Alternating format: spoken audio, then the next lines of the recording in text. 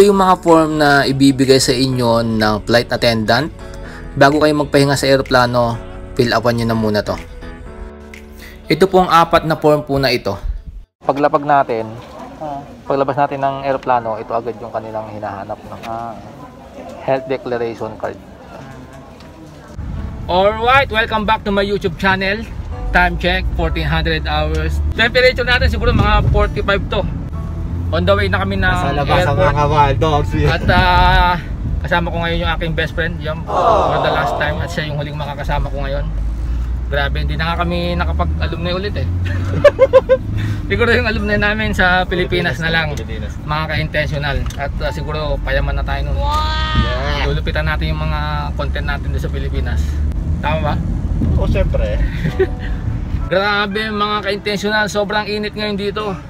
Siguro, teka lang ha. Outside, wow, 42 degrees. Grabe, sobrang init. Whew! Mamaya i-update ko kayo habang binabaybay natin yung Hamad International Airport. Ay, kukunan na rin natin yon. So, all set na. Ito yung mga gamit ko, jacket, excellent jacket, tapos gimbal. May isang maleta ako dun sa likod, isang TV, saka isang backpack. Yun, mga ka-intentional, panalangin nyo ako na makapasok lahat ng baggage natin para wala tayong problema.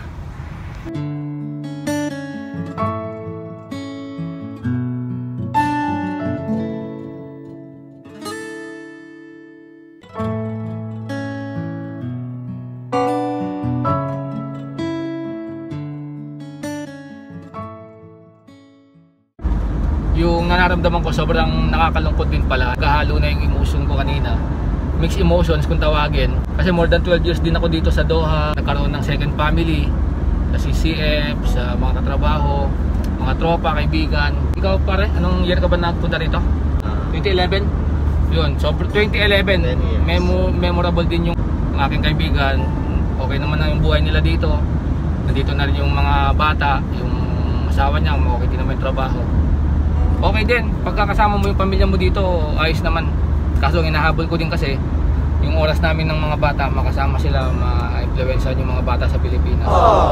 Lalo lalo na ngayon online lang naman sila. So yung mga ibang ibang extra hours magagamit namin sa ibang activity paghahayaan natin mga bata sa Pilipinas ano lang din kung saan saan nagugugol yung oras nila eh. Kaya yun na mga ka-intentional basta nalulungkot ako na masaya kasi nga makakauwi na ako ng Pilipinas kasama ng mga bata medyo malapit na kami.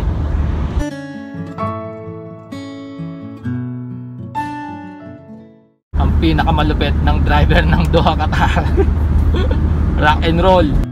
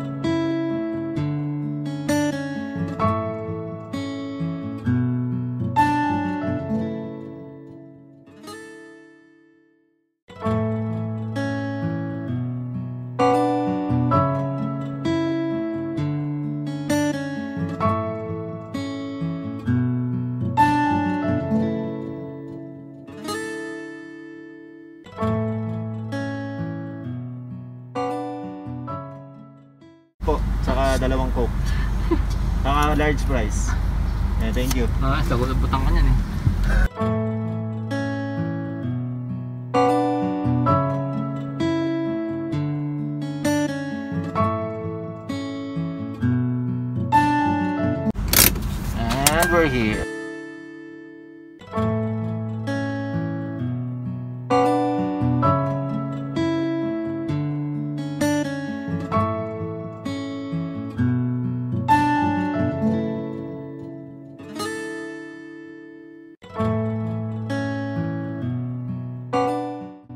muna kami ng 4pm kasi alas 4 pa yung open ng timbangan ng Philippine Airlines.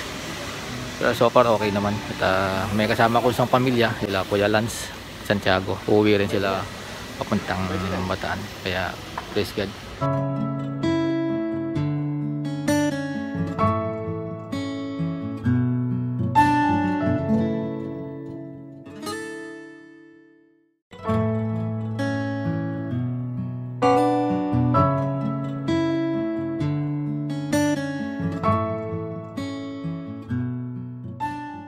Grabe mga ka-intentional.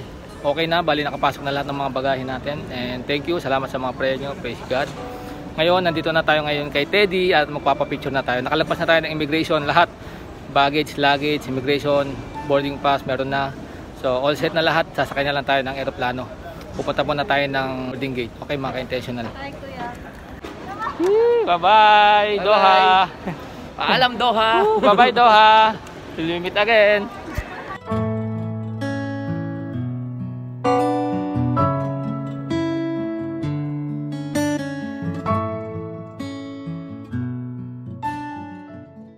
Mga ka-intentional at na-meet nyo naman ang Santiago family. Na sobrang nakaka-bless lang kasi nakasama ko sila tonight sa flight.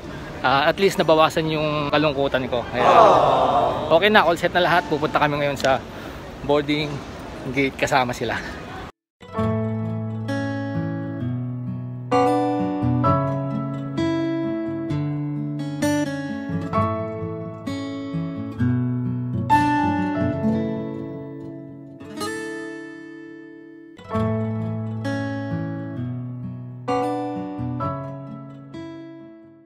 Grabe, sobrang nakakapagod talaga kaya gumamit na kami nito. Oh, hello. Okay pa ba? Grabe. Whew.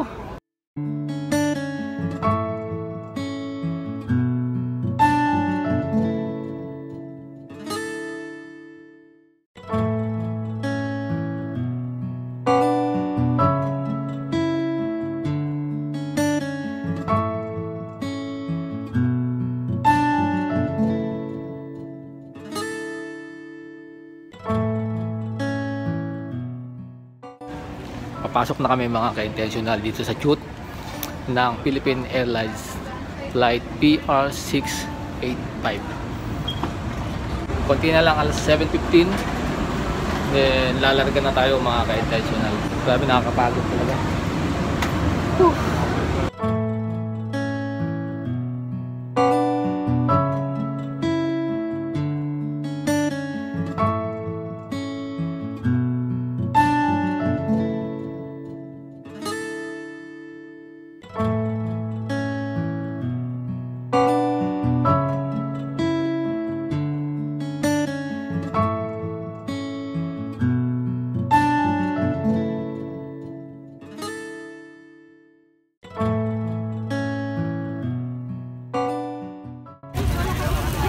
At banggit, di ba?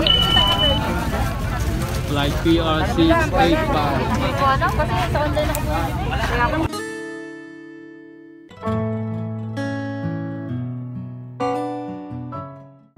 Kuya Bon.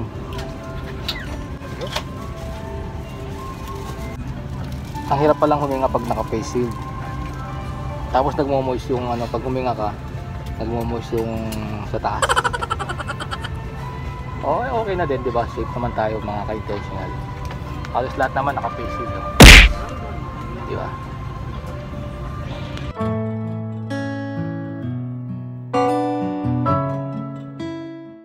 Let us also ensure that all aisles and exit rows are clear of any items. Smoking in the airplane is strictly prohibited. Mimiss ko yung Arabic food kaya Arabic food na lang muna yung in-order ko. So, 8 p.m. time check to Qatar. Tara na, kaya na tayo.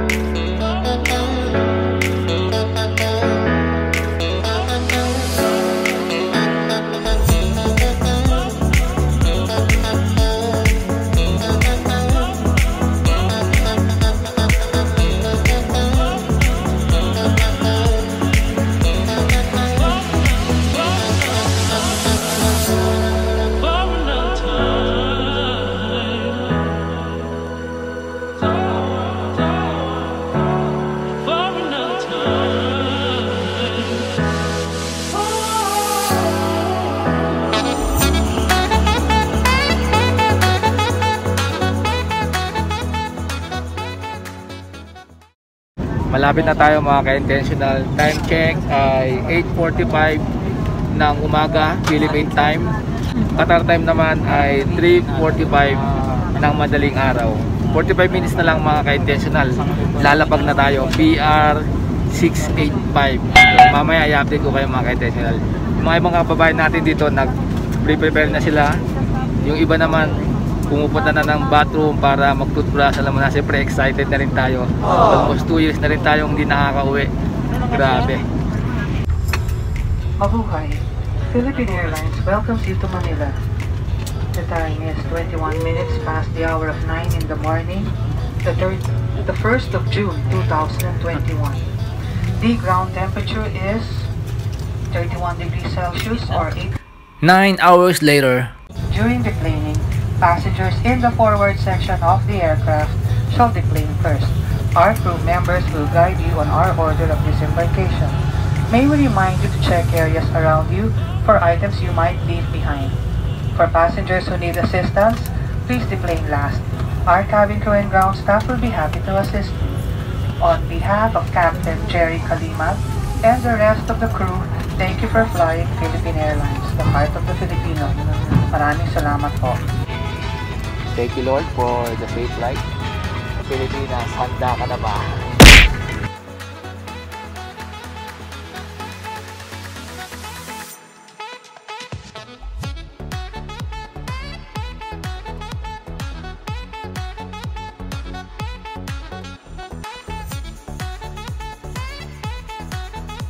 Paglapag natin, Oh, paglabas natin ng aeroplano, ito agad yung kanilang hinahanap ng ah, health declaration card.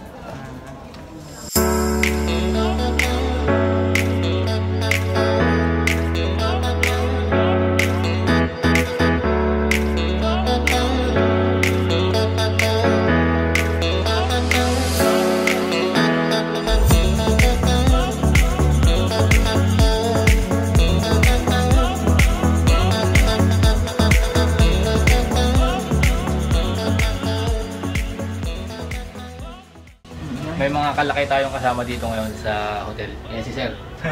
Si Sir, saka... Ano mo Sir? Maki sir, Maki. Maki, tapos Sir. Maki. Yes lang. Yan Sir. Sila yung mga malulupit na tatrabaho.